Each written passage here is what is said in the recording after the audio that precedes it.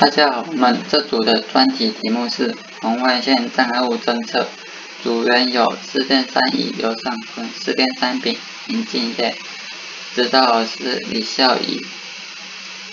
我们的专题总共分为两个部分，一个是控制电路的部分，一个是红外线接收电路的部分。我们这学期做的是红外线接收电路部分。动作说明是：当障碍物出现在红外线发射二极体与红外线接收二极体之间，产生红外线的折射。此时，红外线接收二极体导通接地，输出低电位到 IC，经过 IC 八零五一 NOT 输出高电位使电晶体导通，而使 LED 与继电器动作。障碍物侦测。此图是红外线发射与接收的电路，左边是红外线发射器，串上一个线流电阻到电源；右边是红外线接收器，串接一个分压电阻到电源。没有感应到红外线时，红外线接收器内部呈现高阻抗状态，使侦测点的分压值为高电位。当红外线接收器收到红外线时，内部阻抗只会降低。使侦测点的分压值下降，而得到低电位。当侦测点为低电位时，表示侦测到红外线。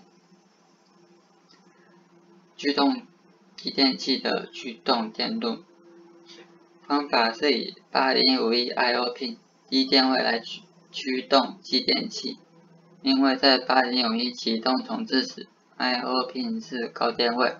为了避免在发电容易重置时的 I/O 高电位时继电器启动，所以设计上采用低电位来驱动继电器。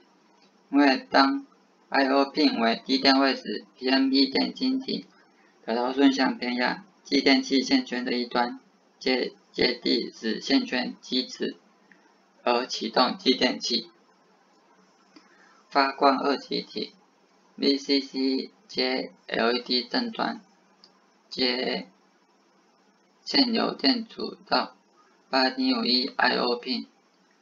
当8.1 IOP 为 high 时，LED 不亮；IOP 为 low 时，LED 顺向导通而发亮。